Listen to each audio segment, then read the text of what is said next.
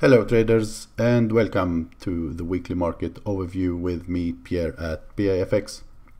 Before we start I would like to mention how much I appreciate all of you for your uh, support and likes and uh, I hope you guys keep doing so so I keep making these uh, video for free each and every week for you here on YouTube.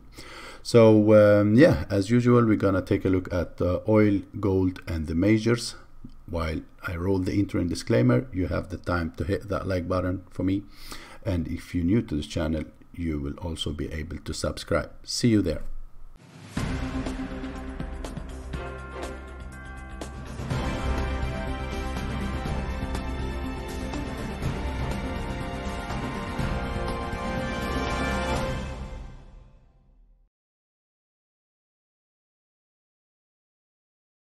Welcome back guys. Um, we will not uh, do the usual and look at the Dixie this, this week because there's something wrong with the, the Dixie chart uh, on uh, TradingView.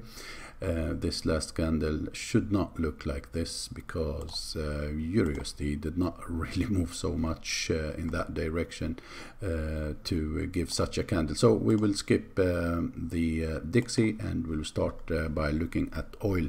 So as I said last week, oil we've been bearish and we were looking for a retest and continuation. We've got that.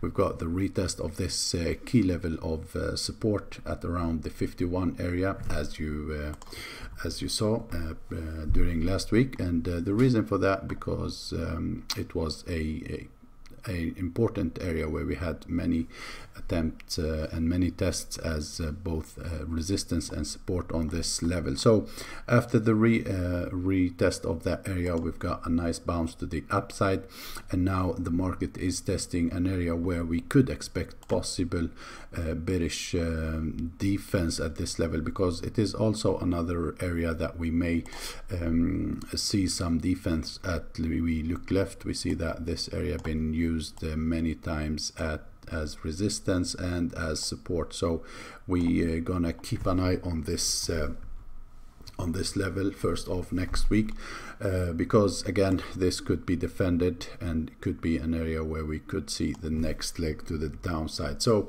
I'm looking for a uh, possible another leg um, down toward uh, 51 on oil as far as we're holding below this structure up here. So first off look for a possible sell here but uh, this market still could give you one more leg to the upside and this gonna be the really key level for uh, the bears to show up and defend around the 56 area is another possible um, another possible sell level. So if we draw a Fibonacci retracement for this whole move we see that uh, the 618 is also at this uh, key structure level up here. Okay?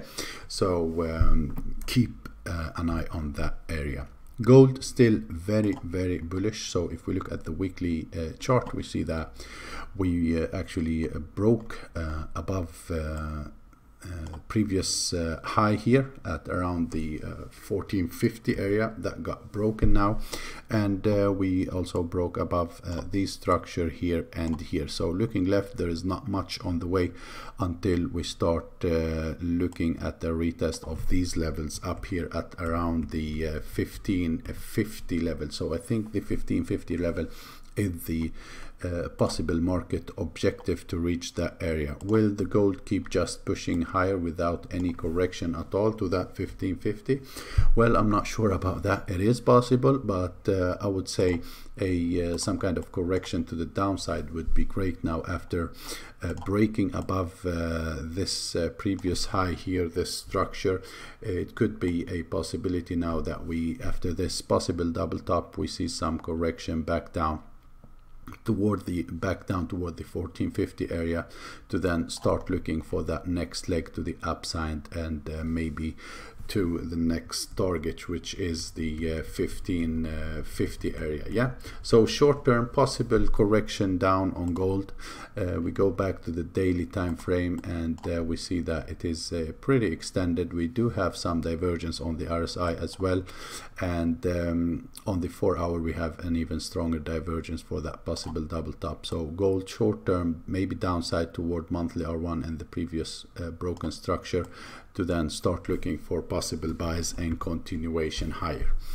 Euro USD, uh, a pretty boring week after uh, the first push higher. We uh, after this um, strong push on Monday, we started seeing that uh, we went sideways, yeah, and uh, each and every day the high war was getting lower and lower and lower and could not push uh, much more higher. So. Um, the four hour time frame showing a possible bullish flag here um, something like this or a pennant uh, call it whatever you want but uh, the main idea is there is a possibility here for this uh, bullish flag. But as far as this um, support is holding you could still look for another um, bounce from here and possibly for a break to the upside on this market. If this um, uh, pair uh, breaks below a monthly pivot point strongly, then there is a possibility for a deeper correction that may send us back down toward this key level of support that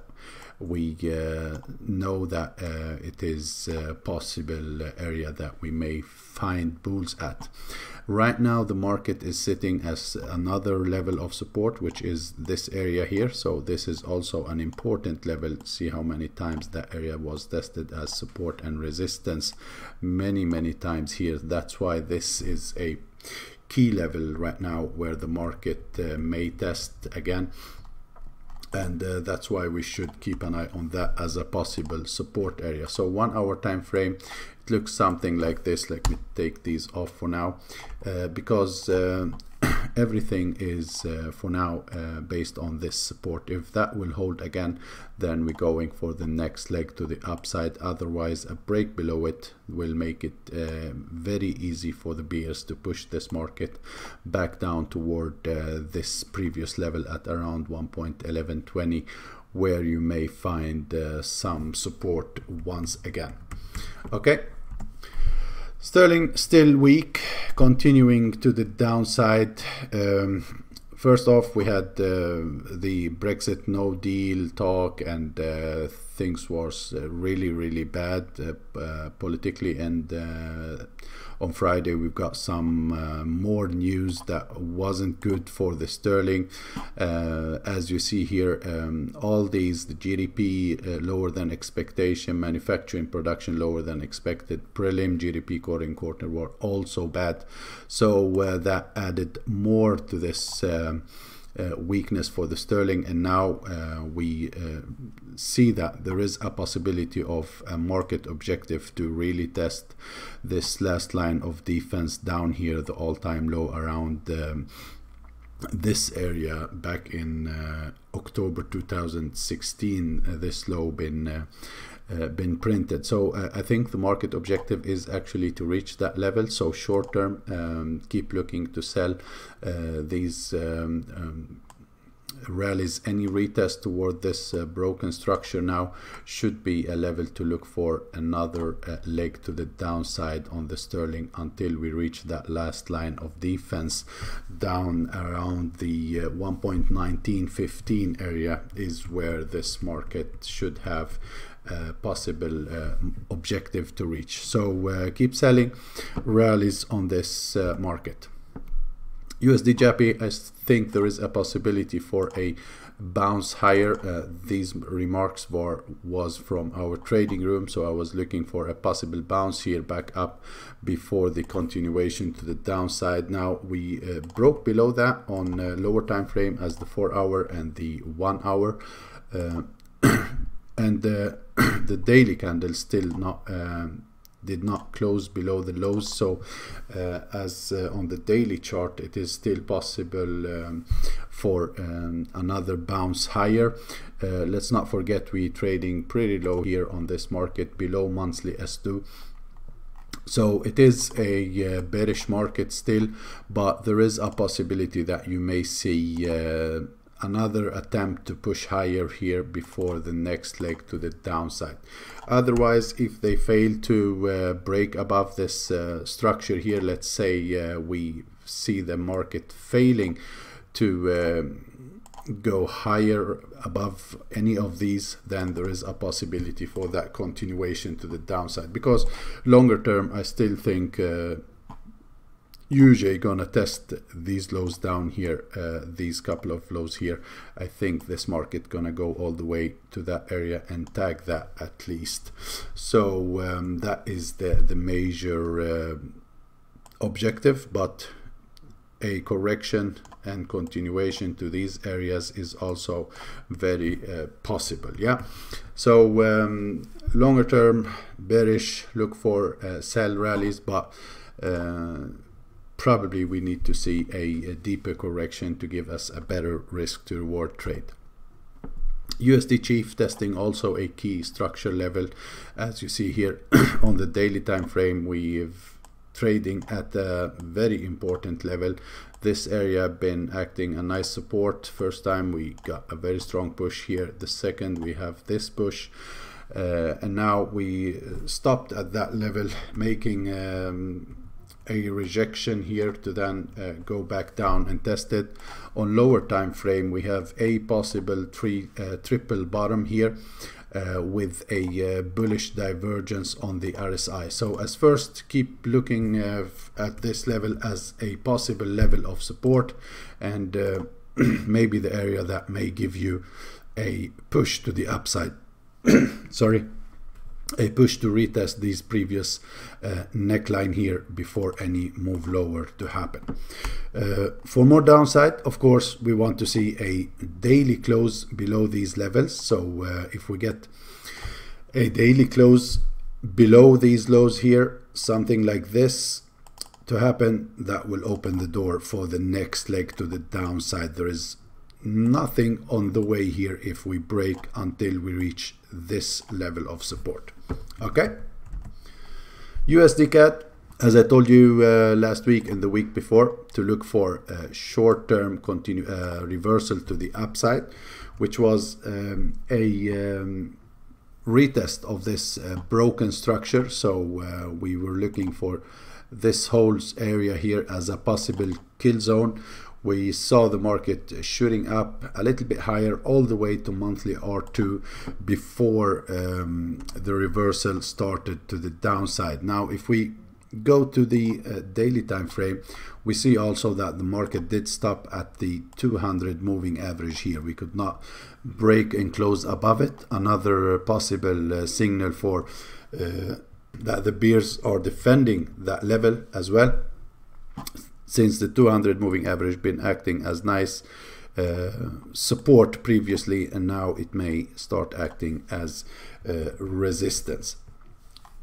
Last week we've got shooting star formation with a daily close below that with this uh, very strong bearish engulfing candle so the shoot the shooting star formation is confirmed and on Friday we've got this bounced higher on the bad uh, employment numbers from the CAD.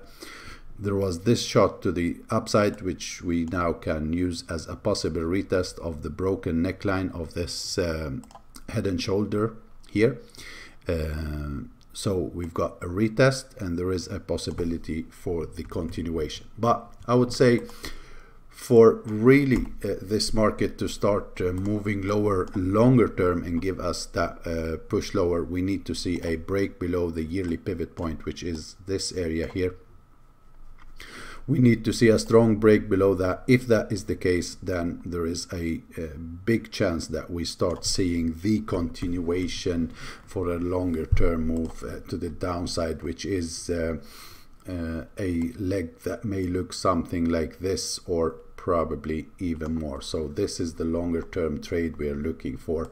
All the way down here is the main idea. But again this will take a long time for next week keep an eye on the monthly R1 any retest to this level uh, could be a possible area to sell because we already saw that we've got rejected strongly here. If we repeat that we will try to sell it again from that area. And for more downside you want to see this broken and then you will get your continuation uh, to the downside there.